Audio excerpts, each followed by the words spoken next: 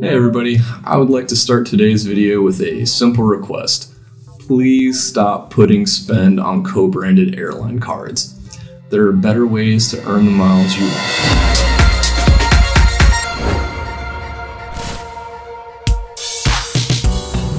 So, this is something I see quite often, uh, from strangers at the grocery store to friends that have decided to get some form of travel card without doing a lot of research. Uh, a lot of people have a single co branded airline card in their wallet. So, first, if you're not familiar with the term, uh, co branded card is just a credit card that's sponsored by two parties. One is a bank, and the other is some kind of retailer or company. Uh, retail store cards, uh, airline cards, and hotel cards are all examples of co branded cards. So, now that we've covered that, let's dig into why this is such a common occurrence. Then I'll tell you why this is wrong for you and why I think you can do better. Uh, just like your friend said about your ex. Anyway, people usually end up with airline cards either during the process of booking a flight or while on a flight. If you've ever booked airfare directly through an airline, you've definitely seen the links to their card as you're going through the booking process. Earn lots of points, get a statement credit, get a free check bag.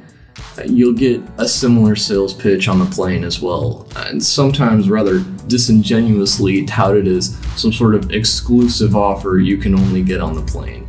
But the truth is, it really isn't. If you're patient, you can usually get better sign up bonuses on these cards as they fluctuate throughout the year.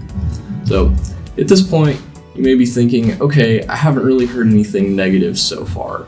What's the problem? You're right, it's not that airline cards can't serve a purpose. Uh, the sign up bonuses are great, and the free check bags may offset the annual fee for a lot of people.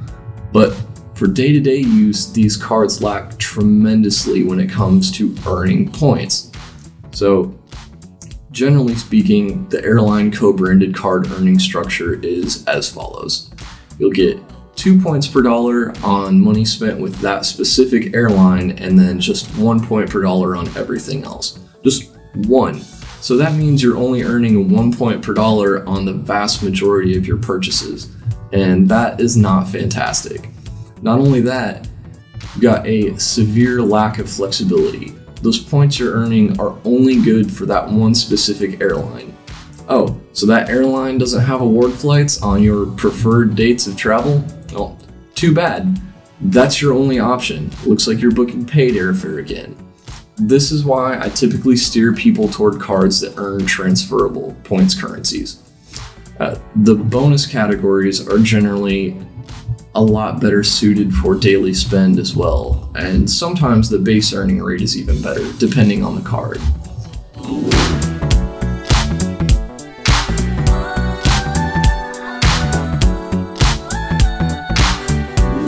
If we break this down into cards for specific airlines, it looks something like this.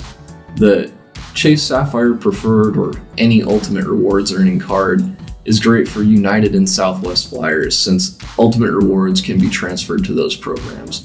A card like the Sapphire Preferred, however, beats the average United or Southwest card in bonus categories because it earns 2 points per dollar on dining and 2 points per dollar on travel. Of course, it's only 1 point per dollar on everything else, but consider how much you'd spend in those other categories. If you're a Delta flyer, consider a card that earns membership rewards like the Amex Everyday Preferred or the Amex Gold card. The Everyday Preferred earns 3 points per dollar at US supermarkets and 2 points per dollar at US gas stations. Uh, the Gold card earns 4 points per dollar at restaurants worldwide and 4 points per dollar at US grocery stores. Uh, it also earns 3 points per dollar on airfare booked directly through the airline, so that's even more than what the co branded card would earn. Uh, membership rewards can be transferred to not only Delta but to Virgin Atlantic, which usually has better rates for booking flights on Delta Metal than Delta's own uh, their own program.